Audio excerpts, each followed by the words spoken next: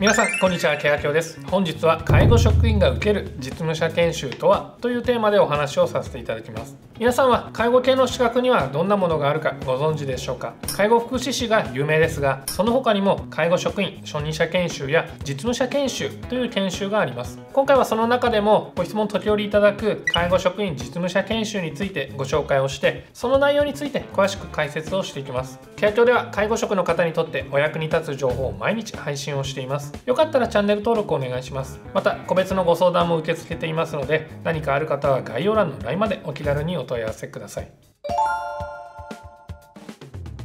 まず最初に介護職員実務者研修とはどういうものなのかご説明をします。少し前までは介護系の資格としてホームヘルパーや介護職員基礎研修というものがありましたがそれらをまとめて幅広い分野で活躍できるような研修に再構築されたものが介護職員実務者研修です。この実務者研修では介護士としての技術や心構えを学ぶことができるほか研修には医療的ケアの分野も含まれており医療職と比較するとできることは限られてしまいますがが追加で核探求員等の研修を終了すれば施設での核探求員や景観栄養が行えるようになります。また実務者研修を終了することにより訪問介護事業所でサービス提供責任者にもなることができ経営的な面で配置基準を満たすためにも必要な資格です。そして福祉系の学校を卒業している場合を除き国家資格である介護福祉士を受験するためにはこの実務者研修を終了していることが受験資格になりますので介護福祉士を目指すなら避けては通れない資格となります。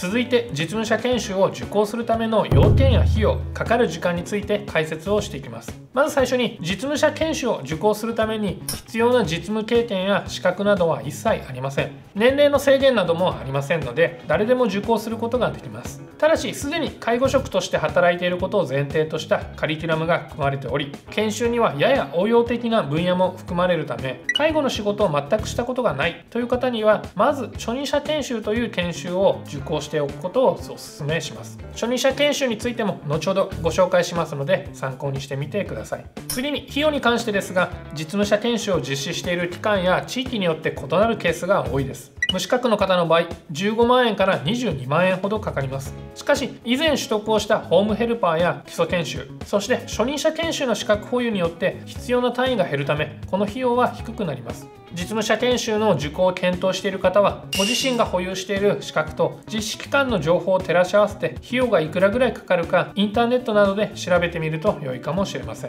実務者研修を終了して資格を取得するまでにはどれぐらいの時間がかかるのかは受講のペースによって異なります。実務者研修を終了するためには20個のカリキュラムを受講する必要があり受講時間はなんとトータル450時間にも及びます。先ほどもお話しした通り初任者研修などを持っていると終了するために必要な単位が減りますので受講期間は減っていきます。初任者研修の場合は9科目が免除となりますので130時間分の受講時間が減ります。人によって取得するまでの期間は変わりますので一概に何ヶ月かかるとは言えませんが働きながらの受講を考えている方は無理のないペースで受講できる期間を探すことをお勧めします。実務者研修のカリキュラムの科目やそれぞれにかかる時間そしてその内容についてご紹介をします。実務者研修のカリキュラムは大きく分けて人間と社会介護心と体の仕組み医療的ケアこの4つに分類をされて進行をします。細かく分けると20の科目があって人間と社会では40時間介護では190時間心と体の仕組みでは170時間医療的ケアでは50時間とそれぞれ定められた時間を受講する必要があり合計450時間のカリキュラムラムを履修しなければなりません。初任者研修などの内容と被る部分がありますので保有している資格によって重複をする部分の受講は免除がされる仕組みです。研修中には知識と技能のテストが行われるケースが多くそのテストに合格することが実務者研修を終了する条件にしている期間も多いです。テストといっても学習内容の復習的な意味合いが強いものになりますので振り落とすような試験内容ではなくしっかりと受講していれば合格できるものですので過度に心配をする必要はありません。また実務者研修は実施する期間によって通信教育で受講が可能な場合がありますがカリキュラムの中の介護課程3医療的ケアの項目に関しては技能講習がありますので必ずスクリーニングが必要になってきます。実務者研修を修了することによって現場で働く上でどのようなメリットがあるのでしょうか。介護職としての技能が上がるのはもちろんですが実務者研修を修了する大きなメリットを2つご紹介をします。1つ目のメリットは介護福祉士の受験資格になることです。介護系の学校を卒業していない限り介護福祉士を取得するためには3年以上の実務経験と実務者研修の修了が受験資格となります。実務者研修を修了することで就職に有利になり待遇アップにつながることもありますがさらに厚い待遇を受けるためには介護福祉士の資格が必要になってきます。介護職として心身ともに健康で働くためには施設の待遇も大きな要因の一つになります。実務者研修を修了することによって介護士としてレベルアップするのはもちろんのことさらなる高みを目指すきっかけになります。2つ目のメリットは各単吸引と景観栄養を行えるようになることです。実務者研修に含まれる50時間の医療的ケアという科目を受講してその後実地研修を行って各単吸引の研修を終了することで各単吸引と景観栄養が行える資格が得られます。基本的には看護師などの医療職しか行うことができないケアですが実務者研修を終了することによって介護職でも各単吸引と景観栄養のケアができるようになります。介護度が高い高齢者の方が多くいる特別養護老人ホームなどでは角炭吸引や景観栄養が必要になる利用者さんもいますので重宝される存在になるでしょう。夜間に看護師さんが不在の際に痰の絡みがひどい利用者さんがいる場合など角炭吸引を行うことができるのは介護職にとっても利用者さんにとっても安心につながります。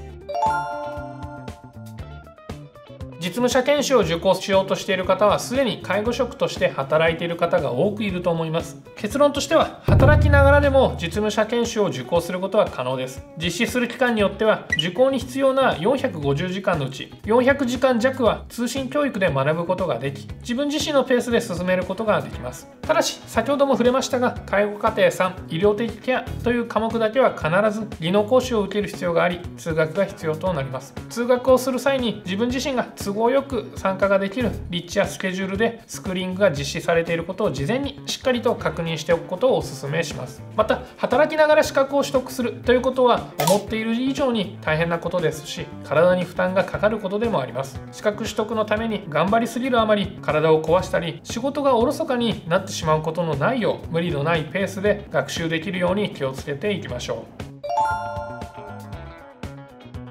初任者研修と実務者研修の違いについてご説明をします。まず介護職員初任者研修とは施設や訪問を問わず介護職として働く上で最も基礎的な技術や理念を身につけるための資格と言えます。初任者研修を終了していることを雇用の最低条件に設定をしている事業所もあります。初任者研修で受講することになる科目は全て実務者研修に含まれており実務者研修で学ぶことになる科目の最も基礎的な部分をピックアップして学べるイメージで良いと思います。実務者研修が20科目あるのに対して初任者研修は9科目であり受講期間にすると130時間程度で終了することができます。費用は地域や実施期間によって差はありますが約6万円から11万円の間で設定されていることが多いです。介護職として最も基本的なことが学べるのが初任者研修です。対して実務者研修は初任者研修の内容を包括しさらに応用的な部分も学ぶことができなおかつ介護福祉士の受験資格にもなるという認識で良いでしょう。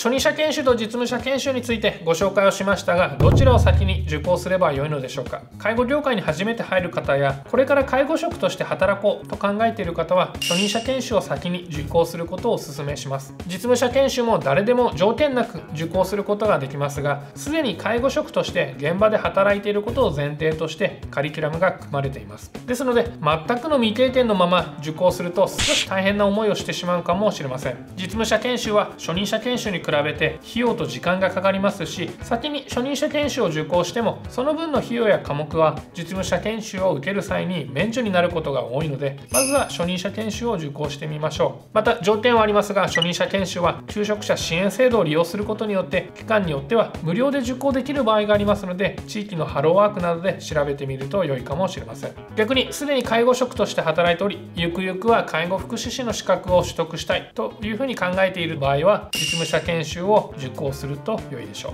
まとめますと介護職としてスキルアップしたい長く働きたいというふうには思いがある方は是非実務者研修にチャレンジをしてみてください。今回の動画もご覧いただきありがとうございました。いいね動画へのコメントチャンネル登録もお願いします。また介助術に特化したサブチャンネルも開始したので登録お願いします。ご相談は LINE まで概要欄からでもご登録できます。それではまた次の動画で。さよなら。